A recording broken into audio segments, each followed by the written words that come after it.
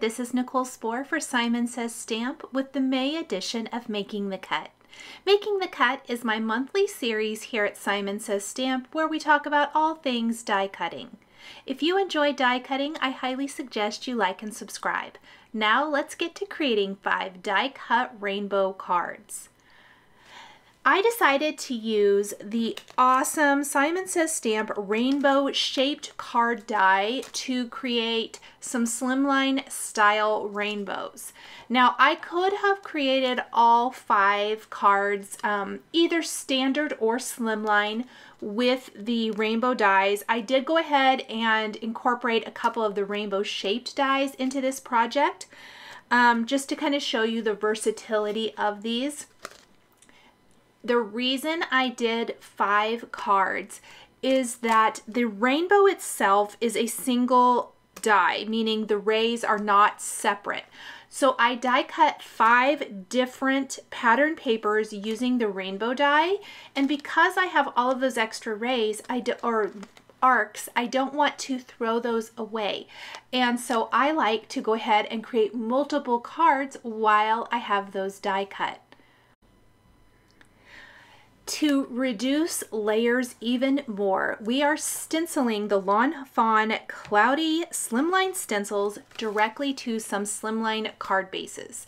Simon Says Stamp has some incredible pre-cut, pre-scored card bases including the slimline and mini slimline and I am using the standard slimline for my project today. I simply taped down my card after I scored it to my work surface using a little repositionable tape and then I'm going to stencil the clouds with some salvaged patina distress ink. This is the newest distress color from Tim Holtz. I love it. I love it for clouds. I love it for backgrounds. Um, I love it for all kinds of things. It's just a beautiful, beautiful color. These cloudy stencils are incredible as well. You get two of the slimline stencils. They are made specifically for slimline style cards. You get two in the pack. One has a little bit puffier clouds and one has a little bit smaller clouds. This one is the bigger of the two and then I'll show you the smaller one. You can see I've already used both of them on here. I really like to mix and match them but if you're looking for a certain size of cloud it gives you those options plus there's a different border on each long side so they really mix and match perfectly. Let's go ahead and switch back to the smaller of the two stencils and just add a tiny little touch up here at the top. I'm going to be careful not to kind of go beyond any of the cloud borders I've already stenciled. I don't like when it dips into there, so I'm very purposeful where I stencil everything. Let's grab our rainbows and clouds now and see where we want to start positioning. These clouds are actually die cut using a separate die. The rainbow itself does die cut clouds, so I have a whole bunch of patterned paper um, clouds in my little dish. I save them in the storage pocket to use on another project. And I die cut the individual cloud dies from either a tone on tone white Sunny Studio pattern paper or this older Doodlebug text pattern paper. This was from a Valentine's collection from many moons ago. It was in my scrap stash and I thought the text was really cute. If you don't have a text pattern paper, Simon Says Stamp has several incredible background sets that would work perfectly. You could definitely take a very light gray ink um, stamp the background stamp on some white cardstock and die cut your clouds for a similar look. Now I have a piece of fun foam, two pieces of Stick It adhesive, and a piece of cardstock. We're going to place the Stick It adhesive on each side of the fun foam to make this a dimensional sticker. What we're going to be creating is dimensional die cut sentiment stickers using the beautiful die from Simon Says Stamp. I love the combination of a scripty style sentiment with um, some stamped greetings with that. These cards in particular are going to be perfect because the slimline style gives us a lot of area either to the left or the right, wherever we, you know, position our rainbow to add lots of greetings. And I really wanted to add lots of greetings here. Off camera, I die cut the beautiful from my sandwich and then I inked it up with some Salvage Patina Distress ink. We're going to start adhering our rainbow to our card base using a little liquid adhesive for the sunshine. You'll notice that the sunshine is a combination of two different yellow pattern papers. That is on purpose. I like that it's all yellow, but I didn't want it to be the same pattern for each. So we've got some like sunshine happy faces or cute little faces in the center and then a plaid that is from another older Doodlebug pattern paper collection. Doodlebug always does fantastic rainbow.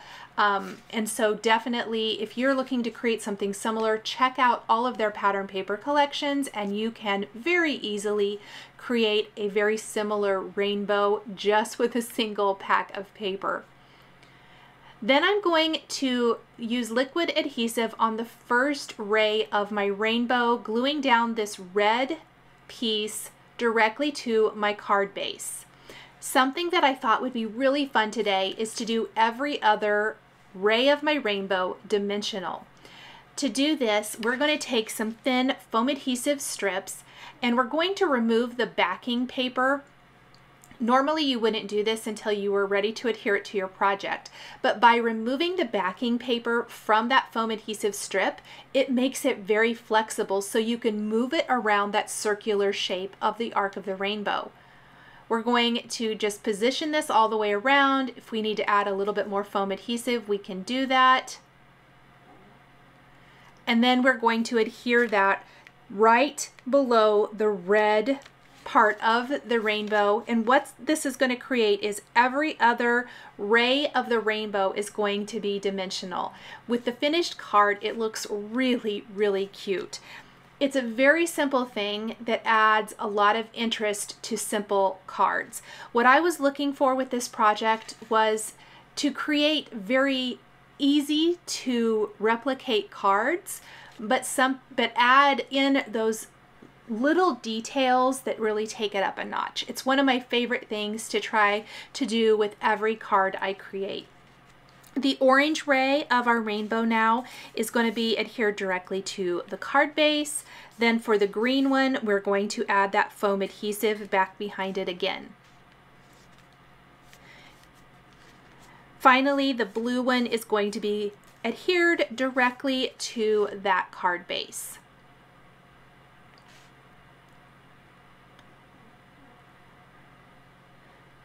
You can kind of naturally see where those clouds are going to fit in here right at the bottom of our rainbow. By adhering those with foam adhesive, they can kind of cover those raw edges of the rainbow. And again, I already placed some foam adhesive on the back of my text little clouds. We'll remove the backing paper from those and then pop them in place right at the ends. How cute is this little patterned paper rainbow? I absolutely love it. And I love the little sunshine peeking out there as well. Now that we have our embellishment for the card, we're ready to start stamping our sentiments and finally adding our die cut sentiment and then finishing the card with some embellishments we are going to be combining greetings from the Inside Friendship Messages stamp set as well as the Slimline Beautiful You stamp set for our three Slimline style cards. The smaller phrases are all going to be from the Inside Friendship Messages stamp set, and I'm going to use three different ones on the three different cards just to show you how you can mix and match and really customize the card to what you want to say. You can also totally do something other than friendship. I went with more of a friendship type theme for these cards, but anything will work. You can even do maybe birthday cards just by switching out your sentiments.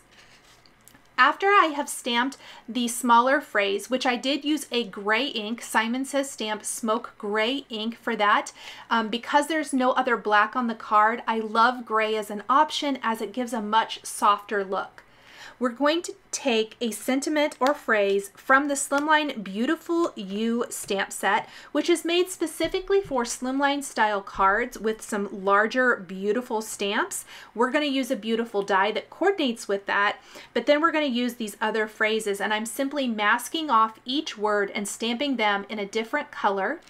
We've used red, yellow, green, and then our sentiment is out of blue. You can see here, this is that dimensional sentiment, and I'm going to add a little bit more salvaged patina ink to my die cut before I pop this out of the sandwich. So remember, our sandwich is fun foam that's backed on both the front and the back with stick it adhesive to make it a sticker. We remove one side of the stick it adhesive and replace that with white cardstock and then we die cut our sentiment from this. One tip that I did off camera that I want to tell you is when I back the front and back of Fun Foam with stick it adhesive, I run that through my die cutting machine just as is, no dies, because it gives even pressure and it secures the stick it adhesive to the fun foam really, really nicely. Then I remove the backing paper from one side and replace it with cardstock. Now, the sentiment is a little tricky because it is super sticky. I love to use a Spellbinders Tool-in-One to remove all of those little parts and pieces. As much as I love a scripty style sentiment, this really does have a lot of little pieces to pop out today, but it totally is worth it and because we already have our sandwich there of dimensional material, it really doesn't take that long to pop all of these out and put it in place. Once we have everything out, and don't forget the little dot for your eye, we're going to place this between our two rows of stamped greetings or phrases on our card. I love that with the placement of the rainbow on a slimline card, it gives us so much real estate to really have a big, bold sentiment. I'm going to be careful that the loop in the letter F from Beautiful doesn't cover up any of my greeting. And then we're going to just carefully put this in place. And once it is perfectly where we want it to go, I'm going to give a nice little firm press and then because there is sticky material back behind the dot on the eye, I always worry that it's not going to stay put. So I like to put a little dab of liquid glue down and before I place that there and I'm going to use the tip of my Spellbinders Tool-in-One to pick that out and pop it in place. I love the rainbow of the greeting that matches the rainbow over on the left side of the card. Now to make our die cut sentiment pop even more, we are going to take some glossy accents and go over our sentiment with the glossy accents so it has a beautiful glossy finish. We're just going to take that small tip there and draw over that. I like to then let this sit and dry, I would say an hour and you should be fairly safe. I just set this over to the side while I uh, worked on some other things and came back later and added the rest of my embellishing.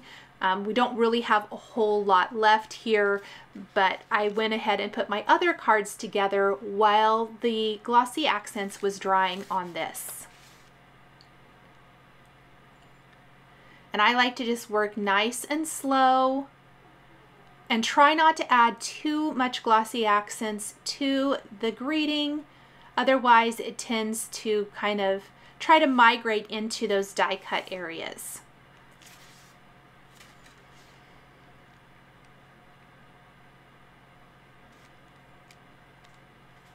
We're going to embellish our slimline card with a little trio of clay heart accents. I'm going to put one on the cloud, a little red one here on the cloud, and then we'll do a couple of other ones over to the right of our sentiment or up above, depending on kind of where everything goes. I know one of the cards I switched the placement because I um, moved Beautiful over just a little bit, but I like the little trio there, an odd number of embellishments. And that is it for the Slimline Style card. Aren't they so much fun? Next, we are going to create the actual rainbow shaped card. So you can see that I did this after I did the first card. I went ahead and laid out my rainbows so that I knew exactly what I had left. We have two white rainbow card bases. The rainbow card die collection does come with the die that makes the rainbow shaped card.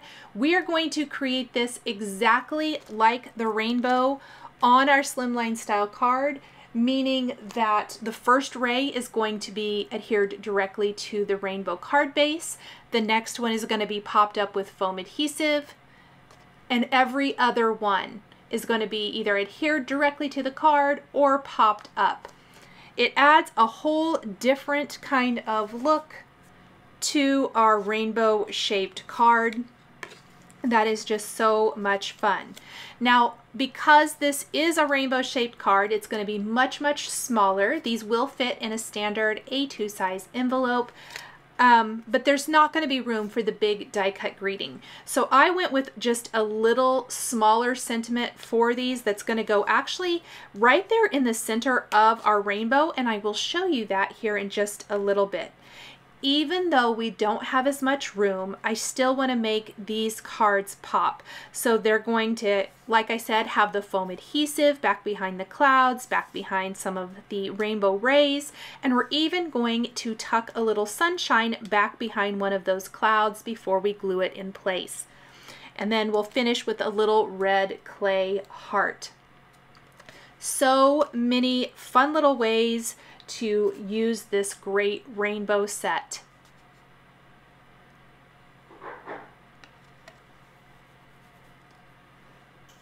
And I do think that aren't those little rainbow clouds you can see there on the right side of the screen? I think they would be really fun to use um, on a card just by themselves, maybe doing an all over rainbow cloud background or something like that. I'll have to um, make something and maybe share it on Instagram. I think they could be used really fun. Now before we secure the left cloud to our card, or either cloud actually, let's stamp our sentiment first. And I'm going to use my clouds as a guideline, but I was afraid I wouldn't get a very good impression. This sentiment, I loved it, is from the June Simon Says Stamp card kit the stamp set included in the kit or available for individual purchase called Rainbow is my favorite color. It is a 6 by 8 stamp set and the You Color My World sentiment from this I thought would be so cute right there in the center. We're going to use four shades of Simon Says Stamp ink for a different color for each word. I'm just using some post-it note, notes to mask off each word so I can stamp them in a different color. And we're going to do both cards at the same time. Uh, because I already knew this sentiment fit and I loved that it had four words, so it works with the four colors of ink that I'm using, and I liked the sentiment, we're going to do those exactly the same. I know I mixed and matched the sentiments on the other cards, but we're going to do these two exactly alike. I'm using Simon Says Stamp inks in Hot Lips, Sunshine, Jelly Bean, and Audrey Blue.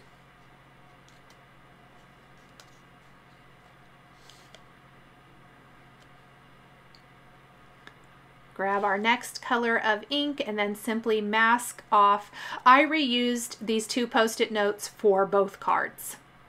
In fact, I think I reused them from my slimline cards as well.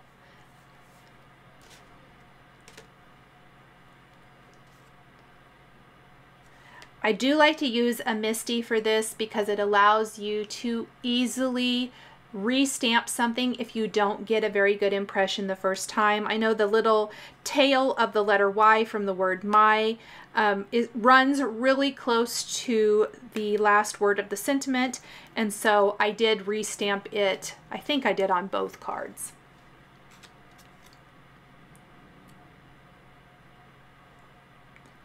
Just make sure that after you have masked your sentiment and you've inked it up that you remove your post-it notes before you try to stamp.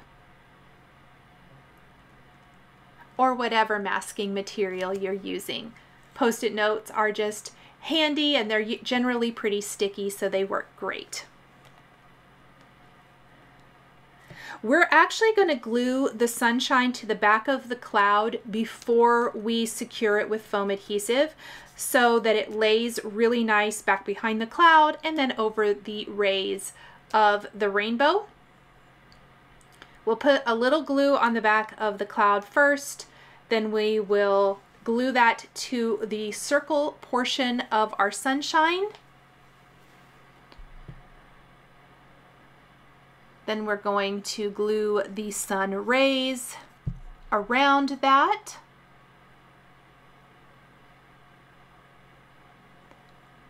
And then we will take this to our project. It looks like I had a little bit of the sun peeking out underneath, so I just snipped that off.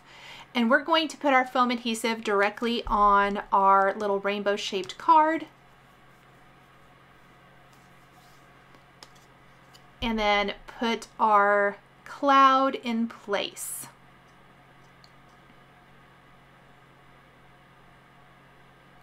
I did put a little liquid adhesive back behind the parts of the sun that will overlap the rainbow so that it lays nice and flat. And then you can always put something heavy on there like an acrylic block to help kind of secure it while the liquid glue dries.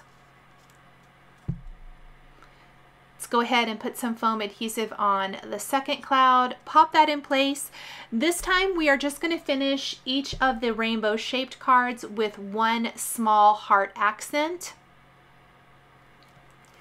Uh, I didn't feel like I needed a ton. These are quite a bit smaller than the other card, but I always like to finish with a little red heart. I think it's a fun little finishing touch. Thank you guys so much for joining me for the May edition of Making the Cut. The supplies I used are listed and linked below the video here on YouTube. Please be sure to visit the Simon Says Stamp blog for more information. Thank you guys so much for joining me today, and we'll see you next time.